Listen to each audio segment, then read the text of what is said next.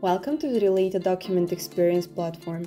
In this video guide, you will learn how to sort and filter your content in Hubs.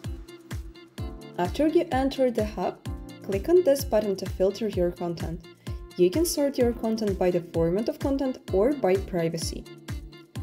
Next button allows you to select the order for sorting your content.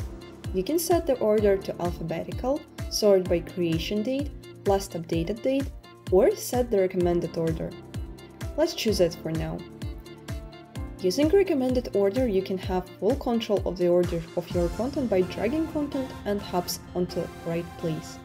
By last button, you can also set the view for your content in a hub.